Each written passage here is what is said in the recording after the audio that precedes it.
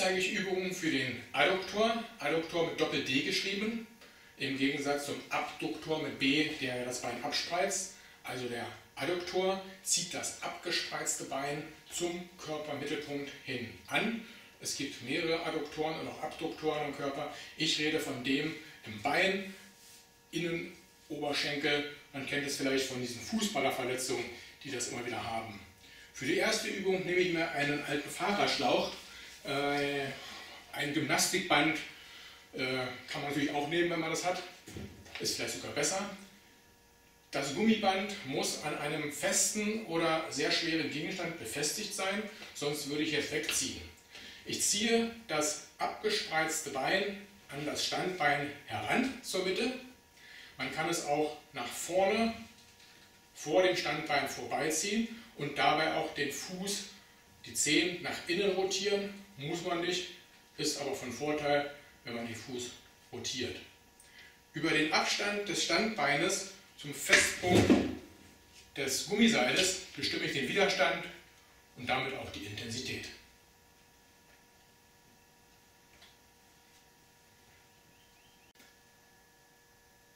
Eine weitere Übung, um den Adduktor zu trainieren, ist folgende.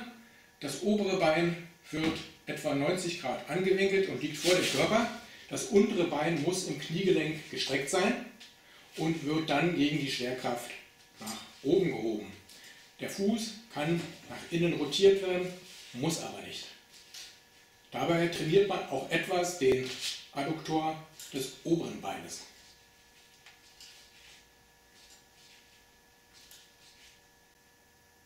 Bei dieser Variante liegt man auf einer Tischfläche oder auf zwei Stühlen.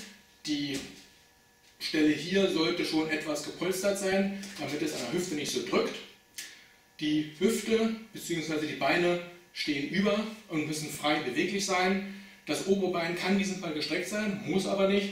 Und man hebt jetzt das untere Bein zum Mittelpunkt oder weiter hinweg. Der Fuß kann einrotiert werden nach innen. Vorteil hier, man kann auch das Bein tiefer hängen lassen, nicht aufsetzen und weiter aus der Mittellage heraus bewegen.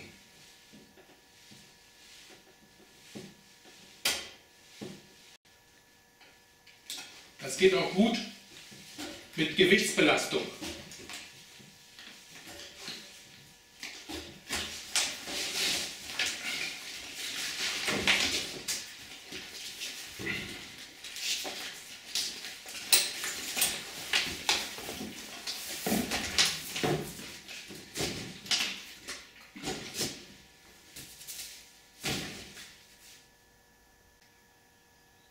Die folgende Übung sollte nur gemacht werden, wenn man schon genügend Grundkraft im Adduktor und vor allen Dingen im Kniegelenk hat, also für Fortgeschrittene. Denn der Stress im Kniegelenk ist nicht unerheblich. Man stützt sich mit dem oberen Bein, was gestreckt ist im Kniegelenk, auf eine erhöhte Position und aus der durchhängenden Position über die Streckung des Körpers, mehr oder weniger, bis so leicht Anheben der Hüfte und wieder absenken. Um es leichter zu machen, könnte man hier einen Stuhl hinstellen und sich darauf abstützen fürs Gleichgewicht.